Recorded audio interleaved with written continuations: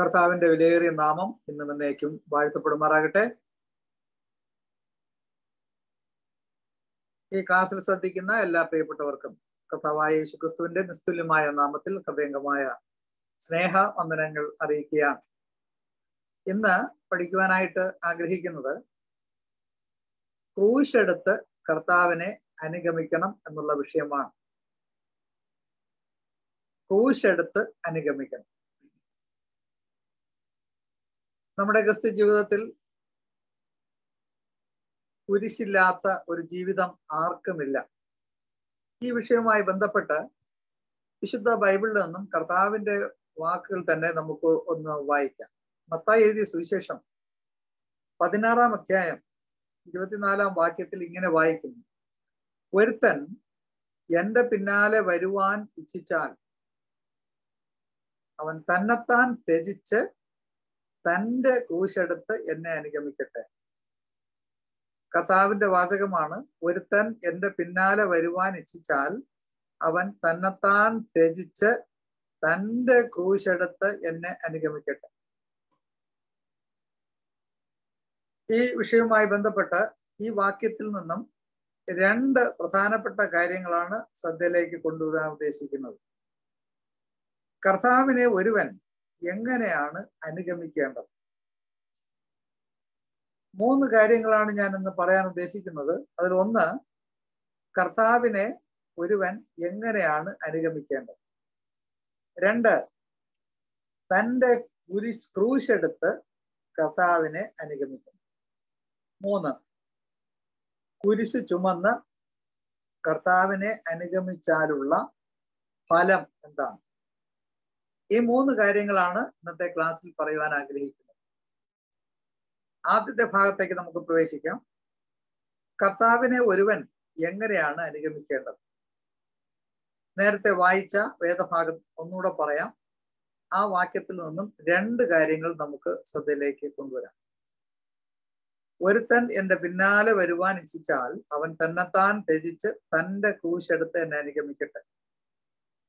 അപ്പോൾ ഒരുവൻ കർത്താവിനെ അനുഗമിക്കുവാനായിട്ട് അവൻ ആരംഭിച്ചാൽ അവൻ ചെയ്യേണ്ട രണ്ട് കാര്യം. ഒന്ന് തന്നെത്താൻ ത്യജിക്കണം. രണ്ട് തന്റെ ക്രൂശെടുത്ത് കർത്താവിനെ അനുഗമിക്കണം. അപ്പോൾ ഒന്നാമത്തെ കാര്യം തന്നെത്താൻ ത്യജിക്കണം എന്നാണ്. അപ്പൊ ക്രിസ്തുവിനെ അനുഗമിച്ചാൽ ചിലതെല്ലാം ജീവിതത്തിൽ ത്യജിക്കേണ്ടതായിട്ട് വരും. കർത്താവിന്റെ നാമനിമിത്തം നമ്മുടെ എല്ലാവരുടെയും ജീവിതത്തിൽ ചിലതെല്ലാം ത്യജിക്കേണ്ടി വരും. ചിലതെല്ലാം വേണ്ട എന്ന് വെക്കേണ്ടി വരും. ചില നന്മകളും അതിൽ കൂടെ ലഭിക്കുന്ന അനുഗ്രഹങ്ങളും വേണ്ട എന്ന് വെക്കേണ്ടി വരും. അപ്പോൾ ക്രിസ്തുവിനെ അനുഗമിച്ചാൽ നമ്മുടെ ജീവിതത്തിൽ ചിലതെല്ലാം വേണ്ട എന്ന് വയ്ക്കേണ്ടതായിട്ട് വരും. ഇനി ത്യജിക്കുക എന്ന് പറഞ്ഞാൽ അതിന്റെ അർത്ഥം ഇവിടെ ഉദ്ദേശിക്കുന്നത് ദൈവത്തെക്കാൾ ഉപരി മറ്റാരെയും പ്രിയപ്പെടാതിരിക്കുക എന്നുള്ളതാണ്.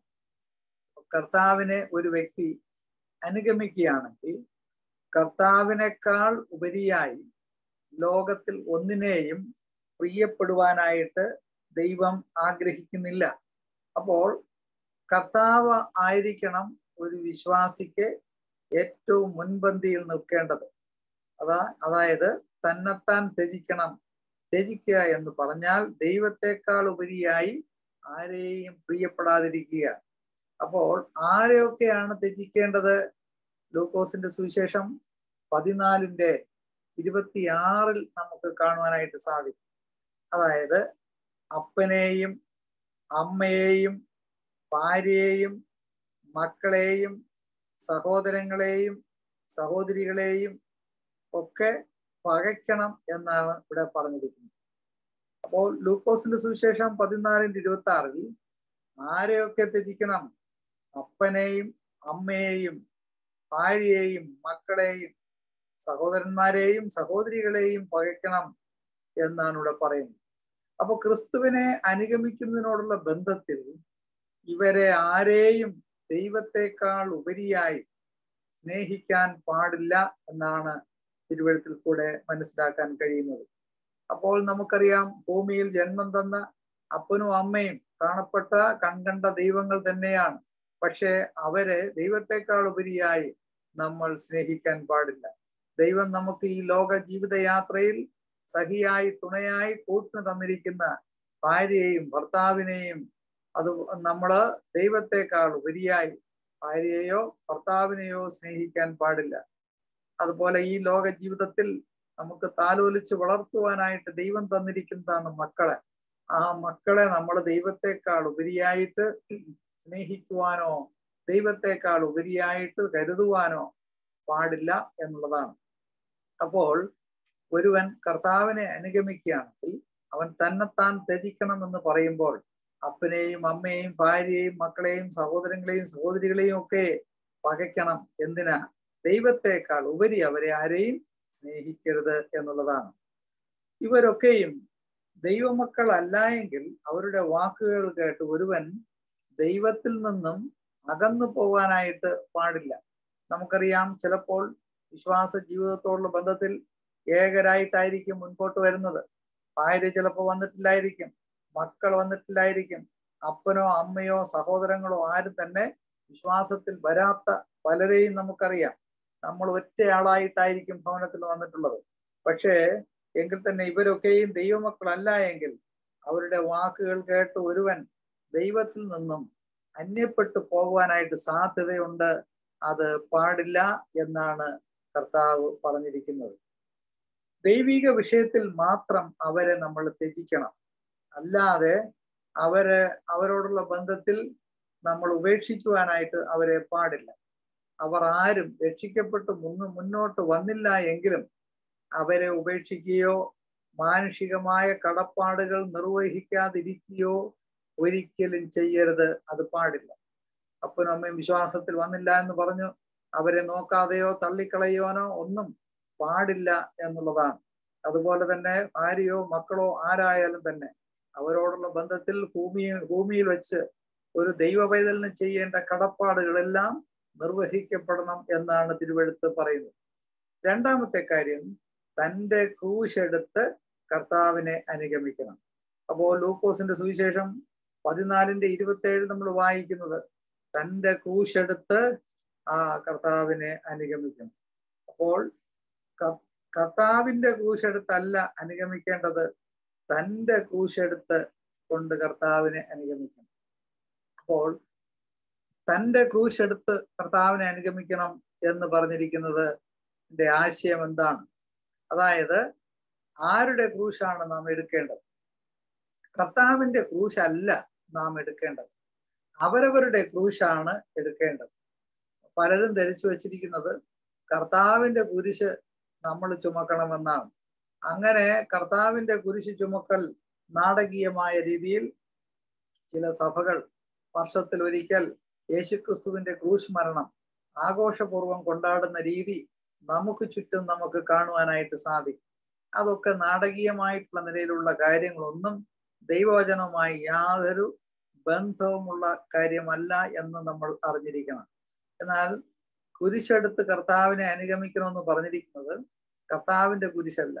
കർത്താവിന്റെ കുരിശ് നമുക്ക് ആർക്കും എടുക്കാൻ പറ്റുകയില്ല. ആ ക്രൂശ് മരണം നമുക്ക് വഹിക്കാൻ കഴിയയില്ല. നമ്മൾ കർത്താവിന്റെ കുരിശെടുത്ത് ക്രൂശിൽ മരിച്ചത് കൊണ്ട് ഒരർത്ഥവുമില്ല. അതുകൊണ്ട് മനുഷ്യനൊരു വ്യത്യാസം ഉണ്ടാകുകയില്ല. കർത്താവ് മനുഷ്യവർഗത്തിന്റെ പാപത്തിന്റെ പരിഹാരത്തിനായി ക്രൂശി ചുമന്ന് കാൽവറി ക്രൂശിൽ യാഗമായി തീരുവാൻ വന്ന വ്യക്തിയാണ്. അപ്പൊ കർത്താവിന്റെ കുരിശ് നമുക്ക് എടുക്കുവാൻ കഴിയുകയില്ല എന്നാൽ നമുക്ക് ഓരോരുത്തർക്കും ഈ ലോകത്തിൽ ഒരു ക്രൂശ് വച്ചിട്ടുണ്ട്. അതായത് ക്രൂശ് കഷ്ടതയെ കാണിക്കുന്നു. കഷ്ടതയാകുന്ന കുരിശ് ദൈവം നമുക്ക് വച്ചിട്ടുണ്ട്. അവരവരുടെ കുരിശെടുത്ത് കർത്താവിനെ അനുഗമിക്കണം. അപ്പൊ ഈ ലോകത്തിൽ നമുക്ക് ഓരോരുത്തർക്കും കുരിശുണ്ട്. സകലർക്കും കുരിശുണ്ട്. നമുക്ക് എല്ലാവർക്കും തന്നെ ശരീരമുണ്ടെങ്കിൽ ഈ ലോകത്തിൽ നമുക്ക് കുരിശുമുണ്ട്. പ്രിയമുള്ളവരെ ഈ ലോകത്തിൽ കുരിശില്ലാതെ കഷ്ടതയില്ലാതെ ആരും തന്നെ ഇല്ല. ധനികരായാലും സമ്പന്നരായാലും പണ്ഡിതനായാലും പാമ്പരനായാലും പിച്ചക്കാരനായാലും ദരിദ്രനായാലും സമ്പത്തുള്ളവനായാലും എല്ലാം എത്ര വലിയ ഉന്നതനായാലും ഈ ലോകത്തിൽ എല്ലാവർക്കും കുരിശ് ദൈവം വെച്ചിട്ടുണ്ട്. എല്ലാ മനുഷ്യർക്കും കുരിശുണ്ട്. രക്ഷിക്കപ്പെട്ടവനുണ്ട് അല്ലാത്തവനുമുണ്ട്. അത് ദൈവം വച്ചിരിക്കുന്ന ഒരു സിസ്റ്റമാണ്. അപ്പൊ ലോകത്തിൽ കഷ്ടതയില്ലാത്ത ആരും തന്നെ ഇല്ല എന്നുള്ളത് നമ്മൾ ഓർത്തിരിക്കണം. രണ്ട് തിമത്യോസ് മൂന്നിന്റെ പന്ത്രണ്ടിൽ പൗരസ് പറയുന്നത് ഇങ്ങനെയാണ്. ക്രിസ്തു യേശുവിൽ ഭക്തിയോടെ ജീവിപ്പാൻ ആഗ്രഹിക്കുന്ന എല്ലാവർക്കും ഉപദ്രവം ഉണ്ടാകും അപ്പോൾ ക്രിസ്തു യേശുവിൽ ഭക്തിയോടെ ജീവിക്കുവാൻ സാധിക്കും ഭക്തി ഇല്ലാതെ ജീവിക്കുവാൻ സാധിക്കും. ഈ ലോകത്തിൽ ദൈവത്തെ പ്രസാദിപ്പിച്ച് ജീവിക്കാൻ സാധിക്കും ദൈവത്തെ പ്രസാദിപ്പിക്കാതെ ജീവിക്കാൻ സാധിക്കും. ദൈവസന്നിധിയിൽ കളിപ്പിച്ച് മനുഷ്യന് കളിപ്പിച്ച് ദൈവമക്കളെയും കുടുംബത്തെയും മാതാപിതാക്കളെയും ലോകത്തെയും സഭയെയും കളിപ്പിച്ച് ജീവിക്കുവാൻ ചിലർക്ക് സാധിക്കും. അല്ലാതെ നേരോടെ ജീവിക്കുവാനും സാധിക്കും. എന്നാൽ ഓർക്കണം ക്രിസ്തു യേശുവിൽ ഭക്തിയോടെ ജീവിപ്പാൻ ആഗ്രഹിക്കുന്ന എല്ലാവർക്കും ഉപദ്രവം ഉണ്ടാകുമെന്നാണ് വേദോത്സവം പറയുന്നത്. അപ്പോൾ ഞാനും നിങ്ങളും ക്രിസ്തീയ ജീവിതത്തിൽ ദൈവത്തോട് അടുത്ത് പറ്റുമാനമുള്ളവരായി ഭക്തിയോടെ വിശുദ്ധിയോടെ വേർപെട്ട ജീവിതം നയിച്ച് മുൻപോട്ട് പോകാൻ ആഗ്രഹിച്ച് പോവുകയാണെങ്കിൽ എനിക്കും നിങ്ങൾക്കും ധാരാളം പ്രതികൂലങ്ങൾ ഉണ്ടായിരിക്കും. പ്രയാസങ്ങൾ ഉണ്ടാകും. കുരിശുകൾ ഉണ്ടാകും എന്നുള്ളത് വ്യക്തമായി കർത്താവ് മുന്നറിയിപ്പ് നൽകുന്ന ഒരു കാര്യമാണ്. അപ്പോൾ രണ്ട് തിമത്യോസ് മൂന്നിന്റെ പന്ത്രണ്ടിൽ നാം വായിക്കുന്നത് ക്രിസ്തു യേശുവിൽ ഭക്തിയോടെ ജീവിപ്പാൻ ആഗ്രഹിക്കുന്ന എല്ലാവർക്കും ഉപദ്രവം ഉണ്ടാകും എന്നാണ്. അതിൽ ആരും മാറ്റി നിർത്തിയിട്ടില്ല. എല്ലാവർക്കും. ദൈവമക്കൾക്ക് കഷ്ടങ്ങൾ ലോകത്തിൽ ഉള്ളതാണ്. അത് ദൈവം വച്ചിരിക്കുന്നതാണെന്നുള്ളത് നമ്മൾ ഓർക്കണം. അപ്പോൾ ദൈവമക്കളായ എനിക്ക് നിങ്ങൾക്ക് ഒരു കഷ്ടവും വരുന്നില്ല എങ്കിൽ ശരിക്കുള്ള ദൈവമക്കളല്ല എന്ന് നമ്മൾ മനസ്സിലാക്കണം. അവരവർക്കുള്ള കഷ്ടങ്ങൾ കഷ്ടതകൾ നാം സഹിക്കണം ഇതാണ് ദൈവം ആഗ്രഹിക്കുന്നത്.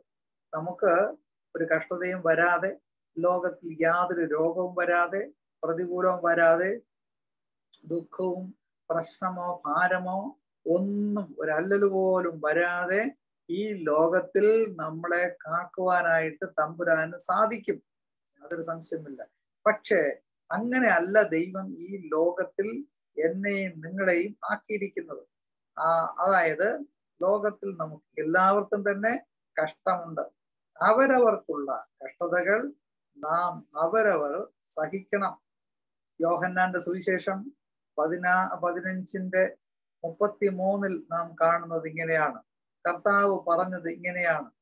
ലോകത്തിൽ നിങ്ങൾക്ക് കഷ്ടം ഉണ്ട് എങ്കിലും ധൈര്യപ്പെടുവിൻ ഞാൻ ലോകത്തെ ജയിച്ചിരിക്കുന്നു എന്ന് പറഞ്ഞു.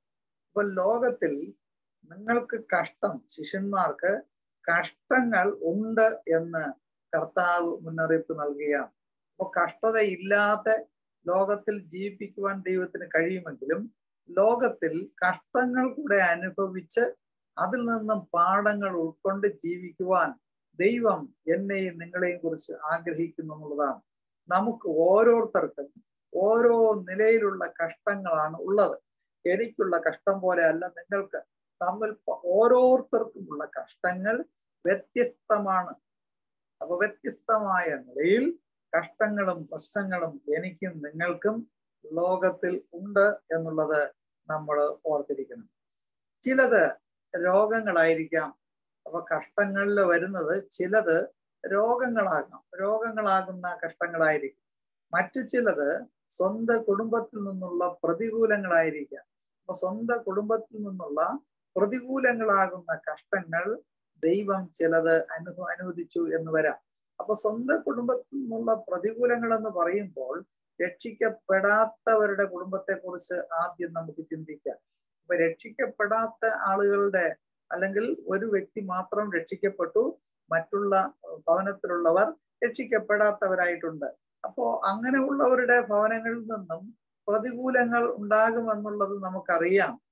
അപ്പോ അങ്ങനെയുള്ള പ്രതികൂലങ്ങൾ ദൈവം പലതും അനുവദിക്കുന്നുണ്ട്. അവർ രക്ഷിക്കപ്പെടാതെ തന്നെ വർഷങ്ങൾ കഴിയും. എത്ര പ്രാർത്ഥിച്ചാലും ചിലപ്പോൾ ഉത്തരം കിട്ടാത്ത വിഷയങ്ങൾ ധാരാളം നമുക്കുണ്ടാകും.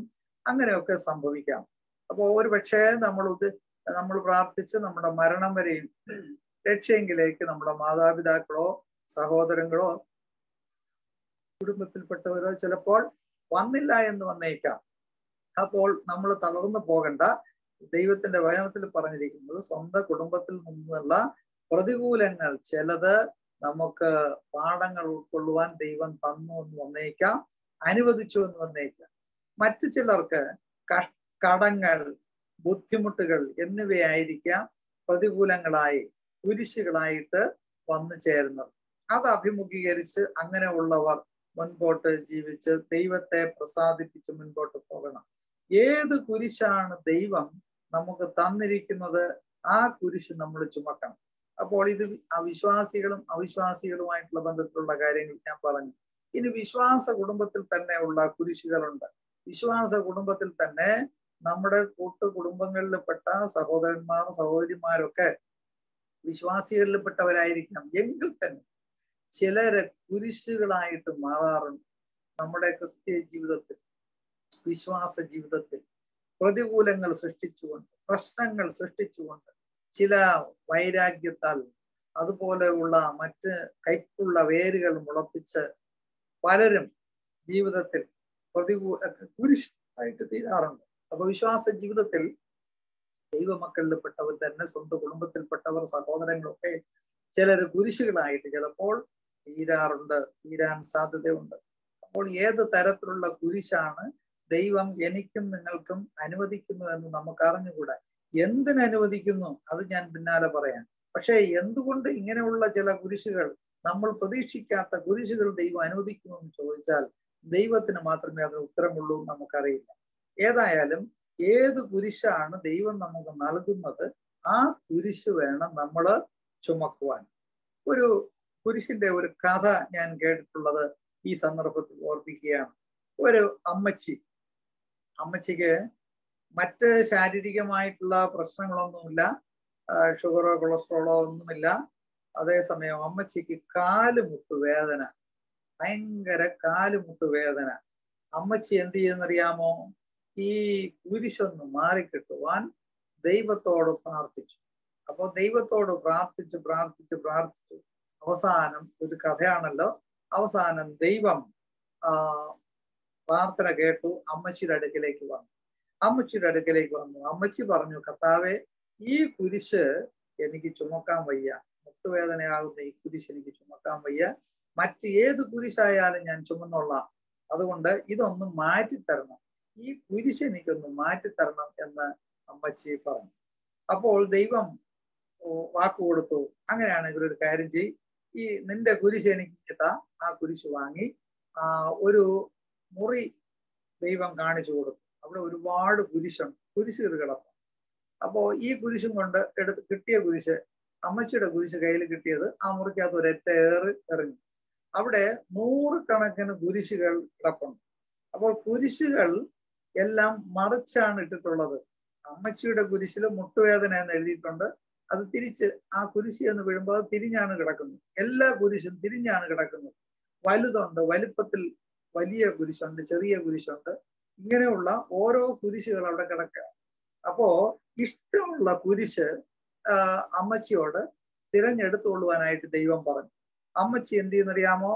ഓരോ കുരിശെടുത്ത് നോക്കി. ഒരു കുരിശെടുത്ത് നോക്കിയപ്പോൾ അതൊരു വലിയ വലിപ്പമുള്ള കുരിശായിട്ടിരിക്കുന്നില്ല.